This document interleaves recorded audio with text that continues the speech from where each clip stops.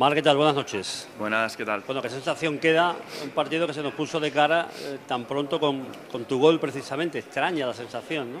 Sí, un poco agridulce. Pienso que el equipo ha competido bien. Sabemos que es un campo complicado donde apretan mucho, te someten a centros laterales, son muy intensos, pero pienso que hemos tenido mucha ocasión, mucho juego en campo rival. Uh, al final no hemos podido meter el segundo gol. Pero bueno, uh, como decimos, evidentemente queríamos los tres puntos, pero si no se puede ganar, al menos puntuar. Campo muy difícil, mucho corte de juego, no hay continuidad, muchas faltas, eh, ellos han acabado con muchas tarjetas, os han llegado incluso a desesperar. ¿eh? Sí, bueno, uh, sabíamos de, de, de, su intensidad, de su juego, que cortan muchas jugadas.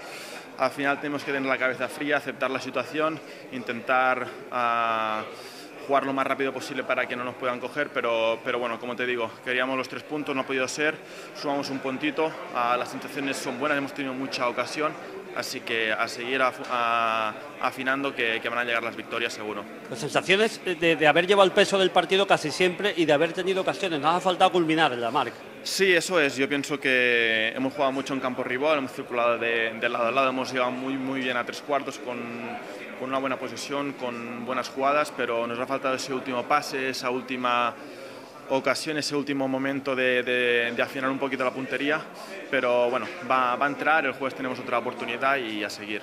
Contento por tu gol también, que oye, no está mal, ¿no? Sí, bueno, feliz por el gol. Uh, evidentemente siempre es importante marcar, ayudar al equipo lo máximo que, que, se pueda, pero una lástima que no haya sido para, para conseguir los tres puntos. Con un punto y ahora Chipre, esto no para, ¿eh? Jueves Chipre y no, hay que, esto... también hay que intentar la victoria.